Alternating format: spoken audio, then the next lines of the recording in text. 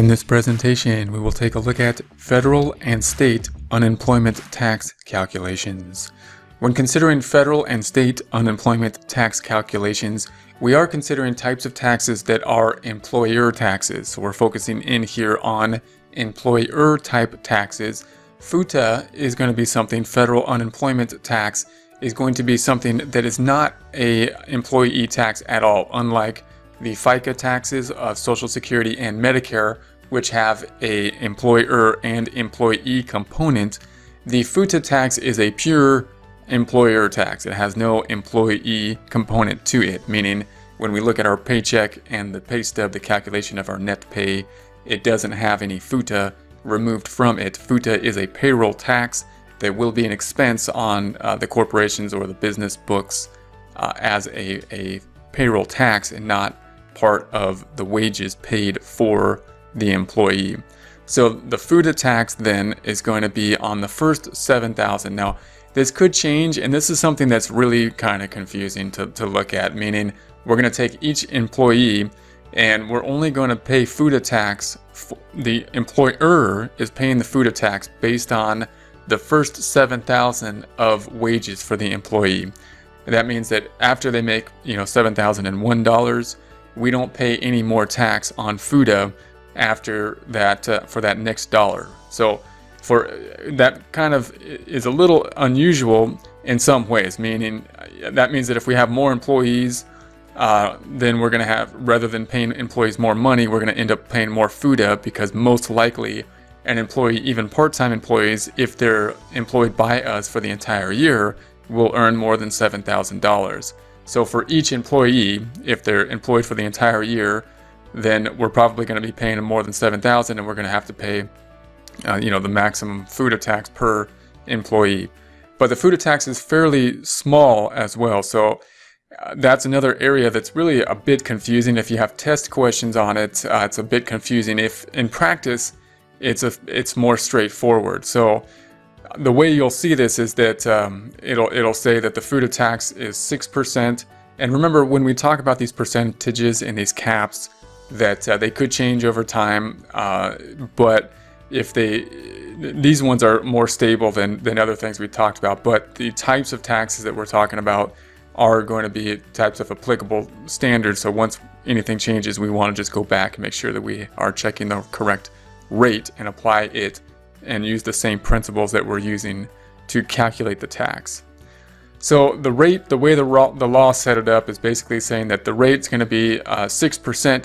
However, we're going to try to mandate the states in some way to uh, implement their own uh, SUTA, and therefore we're going to say, hey, the federal tax is 6%, but you get a 5.4 uh, rate reduction if the state complies with SUTA requirements in accordance with the FUTA law. So, so within the FUTA law, the federal income tax law, the feds basically said if you states put together a SUTA, a state unemployment tax act, that complies with this A, B, and C, then we'll give you a 5.4 uh, discount or deduction, which means that uh, the net tax, uh, the actual FUTA tax, and for all practical purposes, is 0.6.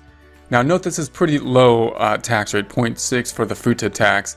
So again, if you look if you look at it and they ask you what's the FUTA tax rate, what's the federal unemployment tax rate, it's really 6% with this deduction, which basically every almost every state or uh, complies with, and therefore uh, the real application rate, the one you're actually going to use most likely to calculate, is going to be this 0.6%. So from an application purpose, for all practical purposes, most of the time, we're going to have a FUTA rate that we're going to use at 0.6%, but um, the wording of it's going to be 6% if the state complies with its from the 5.2, I mean the 5.4, and the deduction given us to that 0.6%.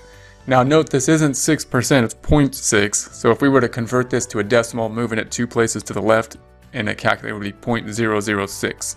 So it's 0.006 of the first $7,000 earned for each employee for FUTA tax, which is an employer tax uh, that's going to be paid, meaning it's not coming out of the of the paycheck.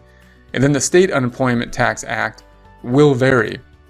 We've noted here that all states typically have some type of um, state unemployment, and the state unemployment will typically meet the minimum so that they qualify for this uh, 5 5.4.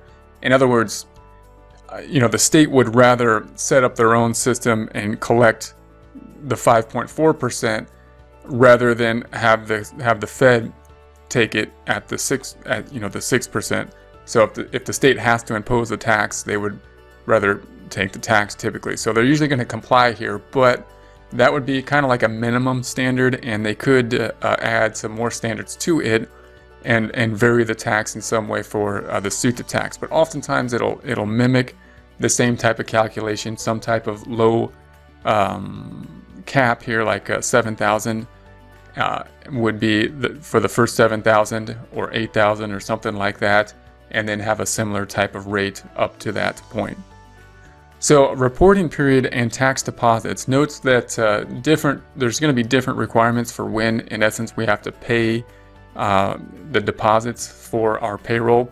And it really depends on how how large our payroll is. So the the laws is going to try to give more flexibility to payroll periods that have have less employees and less total payroll. So in essence uh, you know the larger the payroll is the the more frequently we have to pay.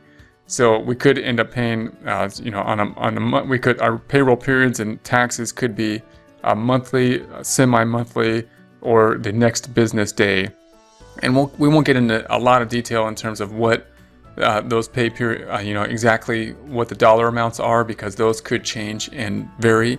Just be aware that as we uh, report the payroll, we need to make the deposits as we go. And so if we're um, if we're doing payroll weekly or or biweekly or semi-monthly or monthly, once we process the payroll, there's a question as to how long can we wait until we give the money uh, to uh, the government, meaning after every payroll period, we're taking money out of the employees' wages for the withholdings. How long do we have until we have to remit the money and to the government, pay that government out, pay that money to the government? And of course, they want their payment sooner rather than later. And uh, so we make those payments as we go, and then we verify the reporting kind of like we do with a 1040 for individual income taxes. That's what the quarterly uh, reports will do. The 941s are not there to calculate and pay the tax.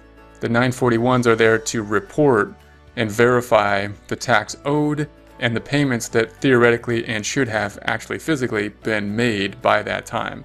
So when we do the 1040, I mean, when we do the uh, 941s at the end of the quarter for payroll taxes, the quarterly reports, and the 940 at the end of the year for FUTA, uh, we should not be be paying at that point. Kind of like your 1040 at the end of the year, we shouldn't owe money on the 1040 at the end of the year if it, everything was done right. We should have actually overpaid on the 1040 and get money back. For the same thing is true for payroll taxes. The, we should be paying as we process payroll, and we have some time period after payroll processing to, to make that payment. And then we're just going to report that we have paid and the liability on the 940s quarterly and the 941 at the end of the year. Note too that unlike the 1040, we're not thinking of we're going to get money back because it's not a it's not a complicated it's not a um, a system that uh, is is more complicated like the income tax meaning it's more flat tax. The calculation should be exact. We should know exactly how much we owe. And we should have paid exactly what we owe. So if we did it all correctly we can conceivably make it exact and it should be as opposed to income taxes, which that's an impossibility.